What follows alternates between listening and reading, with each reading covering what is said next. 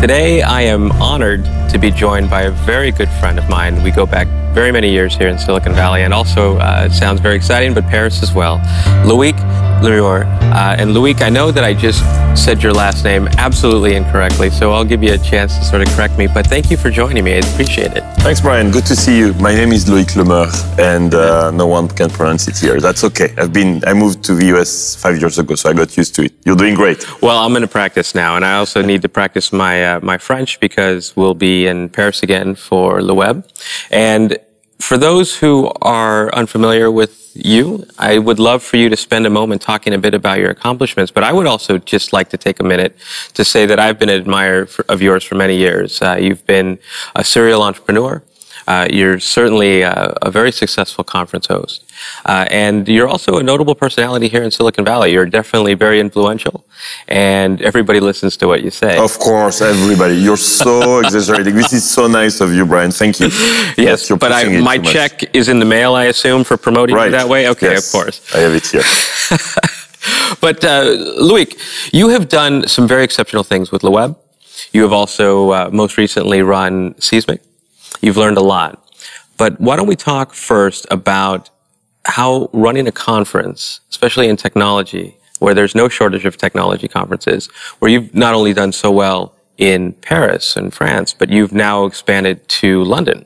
So what was the motivation to expand to a second country? You know, Le Web happened completely by chance since, you know, we were talking about entrepreneurship. I did not start this as a business at all. I really started Le Web as a helping the European ecosystem goal. You know, that was my goal. And we started with 200 people and it grew to three and a half thousand last year, 76 countries in Paris. So sometimes, you know, you try to be successful at one thing uh, and focusing on that, and success happens somewhere else. Right. Uh, we've done it, I think, very different to any or to most uh, other events. We didn't promote, we didn't do any marketing. It's all word of mouth. You can't obviously you can't buy the stage, you know, so I'm very cautious about uh, who is on stage and how they present and, uh, and the way we do it. Um, yeah, and so it took took us eight years, but now it's so yeah, it's an overnight success that only you know took eight years. eight years. And the last year, like the fashion designer Karl Lagerfeld, we always have a host who is not from technology. Um, we had uh, the Queen Rania of Jordan. We had uh, Philippe Starck, the designer, who came and talked about um, furniture to make love which in France is, was perfect, you know. Right. So he had, so he started explaining. We had a lot of Americans in the audience who were like, what is happening here? that was a lot of fun. And uh, yeah, and other than that, you know, Eric Schmidt, the shaman of Google, Sean Parker, you know, lots of fun. But most importantly, Le Web I did to help entrepreneurship. And the reason I think it works is that you get inspired by listening to those people and you're coming to speak yes. to in Paris, right? Yes. And inspiring, you know, visionaries. And you also get to meet all the, you know, investors, all the ecosystem. And in Europe, it's, it's important because, um, contrarily to the US, you have to go to different countries. So here you have everyone under one roof. You know, I can't count how many entrepreneurs have raised money. What's new is we have brands now as well. So we, we start to see, and I think that's probably the most exciting trend for me this year, is startups working with brands more and more. So you saw American Express work with Runkeeper. You see uh, Nike opening its API for the band, yes. you know, if a, the running band. And you see hardware coming together with startups. So we, we help that. We have a lot of developers there. I think, what did you hit? 3,500 people last year? It's a lot of people. I, I think you're growing 30% year over year. So I imagine this year to be a lot bigger. The thing that is amazing about Le Web is that it still has that small feel. Right. I mean, it's it's a grand event and it's a beautiful event, but everybody talks to one another. There's this energy that's in the air that entrepreneurs and brands. It's very exciting, and what I want to know from you is whether this is by design or not. You featured both European personalities as well as notable American personalities. You bring them together on a stage. Uh, you bring startups from all over the world. Was that a recipe that you had by design, or were you specifically hoping for some type of impromptu success? I really on the problems I saw for entrepreneurs there. So I moved in Silicon Valley five years ago, but before then, you don't, you know, get an opportunity in Europe to meet Jack Dorsey or to have all the Facebook leaders, in, you know, in Europe in the same room. And so that really helped the conference, obviously. It, took a lot of time. That's one of the recipes. Like we bring Silicon Valley to Europe, basically, once now, twice a year. The other one are, were really all the problems that entrepreneurs have, which is, so one, be inspired. Two is to find, you know, raise capital with new means. So angels, there are less angels in Europe and trying to mix both. So there is one thing that California does really well is if you walk around the streets here, everybody wants to be the next Zuckerberg. And, and you know, the dream keeps going, right? Even you go through a crisis like 2007, 2008. And, but boom, like a few months ago, you have Instagram. So right. suddenly everybody starts dreaming again, right? and that is, that is here, very unique. We have that less in Europe because you don't showcase success. So we showcase success. So we had Daniel Ek of Spotify, huge success from Europe, Angry Birds, a founder of Skype, Niklas Zennström. So we start to have this second generation of very successful entrepreneurs in Europe as well, who created worldwide brands, who now start to invest as well in right. hundreds of startups. So it's changing very fast. I'm very impressed. And I think we, we help. But the main difference is the speed at which it's going here is of course different. That, that's also why I moved. I wanted to be at the center. So how do you see the difference with the culture here in California? Well, it's its own unique culture aside from the rest of the United States. But when you bring, say, a lot of startups into Paris and also London, and then you have the prevailing cultures of the country itself, do you believe that not just inspiration, but let's say innovation. Do you see that innovation is championing a new culture within Europe? My frustration is that there are millions of would-be entrepreneurs in France, in Germany, in Spain, everywhere. It's just that they think it's more difficult than it really is. And I think it's more like the spirit which we should teach entrepreneurship at school.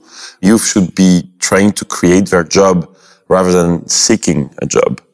I don't think this is, you know, enough of a culture there and it's changing, but there is too much of a culture of protection Right. which is very European. But I think it's changing. There is a, a, generation now of fantastic entrepreneurs and innovation is coming from there. I'm blown away. And I think this mix of, you know, Silicon Valley and Europe together, uh, mixed with new ways of doing things. Look at Pebble Watch. You yeah. know, that, that watch that got funded like $10 million. Right, all crowdsourced. All crowdsourced, right? And so they're speaking, you know, uh, at Le Web. And can you ask them to bring one for me, please? I, I, I ordered five, and now it's sold out. You can't, yeah, I can't get one. exactly, you can't get them anymore. But see, this is a new, like you don't get dilution as an entrepreneur. Mm-hmm you can raise $10 million. So my theme for London is faster than real time. So you get funded faster than real time because you don't even see VCs. You know, we drop, we do, do we need VCs? No, we don't need VCs. Yeah, that's amazing. it is amazing. In fact, that's one of the themes that, that we're studying at Altimeter Group is how do you move faster than real time as well? And you inspired me for this theme. well, one of the things that I wanted to talk about that you brought up that I don't want to overlook is actually a really important point. So in the United States, we look at the millennial, right? and they are the new workforce. In fact, I think what is it? In just 10 years, they're going to be 75% of the workforce. And you ask them today, what are their aspirations? And they'll tell you that they want to create their own job, like you said, rather than get a job. Is that different? Do you see that different in Europe? Do you see that the millennial wants to create their own job or are they groomed to get a job? I, no, I see the same willingness to do so. Mm-hmm. Now I, I see less the execution mm-hmm. and I, I think it's changing but there is less flexibility in, in work and, and, you know, work laws. So that's the issue. But, you know, you can see now global successes. People need to understand they can do it. It's more of a pace, which I really like here. You don't do too many meetings. You know, when I have European friends who try to get an appointment with me, like three weeks in advance, I have no idea. I'm sure you're like that. I'm like, like, call me the day before, email me. You know, it's very flexible here. Mm-hmm. Like people change their agenda and, and everything seems faster one of the points that I was having a conversation with somebody recently mentioned that they're really fascinated to visit Silicon Valley or San Francisco to attend what, you know, what would the networking events be like here?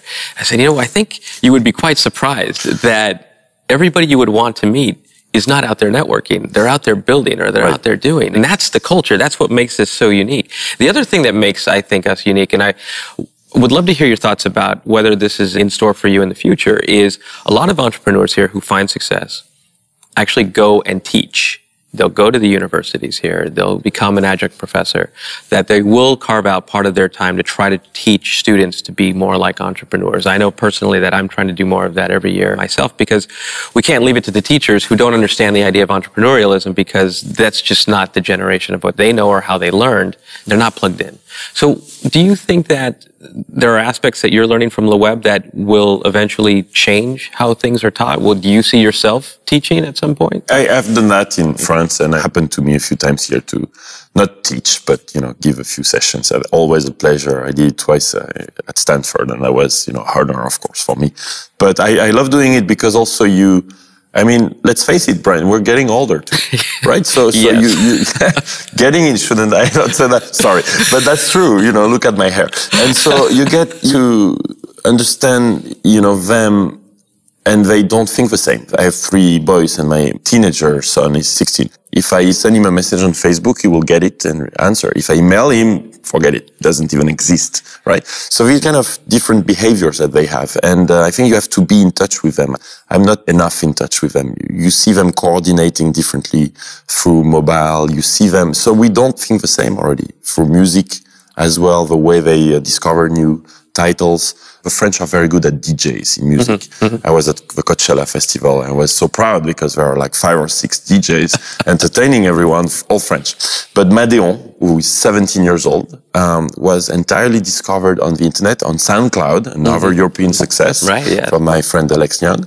You know, it's all crowdsourced. It's, it's all the same. He wouldn't have been discovered at all. Right. And it's, it's all the young people who, who discovered him. Yeah, it's and, and, then it goes to us, right? So finally. Yeah. So I think you need to really be in touch with them to not be disconnected. And uh, yeah, I enjoy doing it a lot. Very important. You're also a serial entrepreneur, and you've had some very interesting lessons as you've built some very successful companies, as you've tried to build other successful companies, and some not successful. Right. What would you say? no problem. what were some of the learnings though on the unsuccessful side of things? I give you an example of something I did. We had to do the worst a CEO had, has to do is we decreased our team from 32 to 15. A little less actually. And this is very sad and it's difficult and so on. And so the way you generally do it, especially in Europe, there are tensions, sometimes, you know, unions and people maybe sue themselves. Why not? And, and, you know, like you, you hide it. And so what I did is I tried to do the exact opposite. I actually blogged with their approval, of course, the LinkedIn resumes linked to their CVs on LinkedIn of all my engineers. And I blogged who wants a great engineering team in Bucharest. That's where they are based. And they got up to 15 job offers. Oh, that's great. And everybody found a job in two weeks to three weeks. Everyone. And so, you know, I think you can just reinvent the way you do, mm-hmm. you do things. And that is failure, right? But that actually worked really well for them. And for us, we divided our burn by two. So that's one of the lessons is uh, just try to do things differently and not stay, you know, back in the past ways of doing things. But in terms of lessons, many lessons. One is building on somebody else's platform, right? We've built on many companies such as Twitter or Salesforce and we did many things wrong, but we also had a lot of uh, headwind somehow. Right. For example, Twitter completely changed its strategy towards apps like us suddenly. And I'm not saying it's their fault, but suddenly I ended up competing with my number one partner. Right. Right. As they acquired a competitor of mine called TweetDeck. And I started competing with them. So I said, that's it. You I need to move on very fast to something else. So in three weeks, four weeks, we're doing something else. Not escaping from my responsibility as a CEO, but it's difficult to predict when you're so tight in one ecosystem. So I'll probably be more careful about that. Mm-hmm. And other friends did it on Facebook. if you think about Slide and RockYou, right. those guys went from like five, 10 million users a day to zero when they decided the stream. You couldn't post the same way to it. Right. So building on someone else's platform, very challenging, I would say. Well, one of the other lessons that if you could just spend a minute talking about was seemingly when you pivoted. I keep pivoting. I, I, I do 360s. Well, you could be a dancer as well. The you know what, tell, what people tell me? They tell me you should start. You know, I started a video conversation site that mm-hmm. was the original I remember five years ago. People ping me now and they say you should do it now. You should do it now. Now it's the time. and so that would be a full a full 360. That would be a first, I bet. Like you know, it's not a pivot; it's a complete. I, I actually remember. I was thinking about that the other day. That used to be on the TechCrunch platform, uh, and I I used video to comment comments. Yeah, yes. video comments. But it seemed though, at least to us outsiders looking in, that when you decided to pivot the company or part of the company towards social business and align with Salesforce. That seemed like a very solid move. Yep. I'm not sure of how the strategy is panning out or what your vision is for it, but what are your prospects there and what's your outlook? We already stopped. Oh. Ah. yeah. yeah, we try very fast things and we see if they, you know, catch or not. What was the challenge there? Uh, there were many challenges, but one of them was the adoption in enterprise is much slower, mm-hmm. and we didn't have enough runway in terms of fuel in the bank money right. to sustain the slow growth. And so we decided to actually switch back to uh, social to uh, an app that I had acquired called Ping FM. Ah, yeah, Ping, right. That helps people, you know, very simple, but we have hundreds of thousands of users uh, using it every day. So we did really good mobile apps. Why, why don't you tell us real quick what Ping is? Yeah, yeah, sure. It's very simple. If you're, a, whether you're an individual, like, uh, like a brand, like Brian Solis, or you're a, uh, a brand, yourself or you're managing a brand, you need to post to optimize your social media presence. You need to post to all the social networks, the one that matters, right? right. So, so the Facebook pages and LinkedIn and Twitter and now Google Plus. Sadly, they have not opened their API yet, uh, right. except for pages. But basically, you can create groups. And so for Le Web, I will post to certain destinations. And for me personally, I will post to others and so on. So we just do that really well with mm-hmm. mobile apps and so on. And it's, it's going very nicely. It's a small business. We also monetize the social app and uh, working on that. Uh, but there will be something else. I, I really like the Kevin Rose model, actually, our friend Kevin, yeah. before he was acquired by Google, that he announced that he would launch several products and they will fail. Many will fail, you know, but if you think about the last two years, what happened in Silicon Valley, you have Instagram, not that many big successes, right? There is no new Twitter or no new Facebook recently, right? no, in fact, Pinterest, which is all the buzz, is what, three, three years old, three and a half years right. old? Yes, so that's one of them. but to do those, how many hundreds of startups have right. failed? Absolutely. Right? But I'd like to actually try to break even what I have with the social, which is what I'm working on. Of course, I'm having fun with Le Web, which is doing amazing, uh, both uh, as a company, as a brand, and financially and uh, launch projects. I'd like to, you know, launch like five, six, seven products, one after each other, and try to do another, like not an Instagram, but get a million users, right? See if, right. if not, kill it as fast as possible. So new way of thinking as well, because at the end of the day, doing something average and like smallish doesn't matter, right? You should just move on. Right. So I don't know, maybe it's maturity after having started five startups that I accept the fact that the things you launch are, are, very likely to fail and it's okay as long as you discuss it with your investors and that they know that also what they invest in is going to fail 90%. They know that already. Right. Right. With that, what I'd like to leave you with is to take the words from the week and recognize that you will succeed and you will fail. But what, as you can see with Loic, is that as long as you have passion, as long as you have perseverance, as long as you believe in the ideas that you pursue, as long as you pursue them, that's half the battle. Learning along the way is what's going to help you succeed over time. Loic, thank you so much. Thank you, Brad. Best of luck. We appreciate it.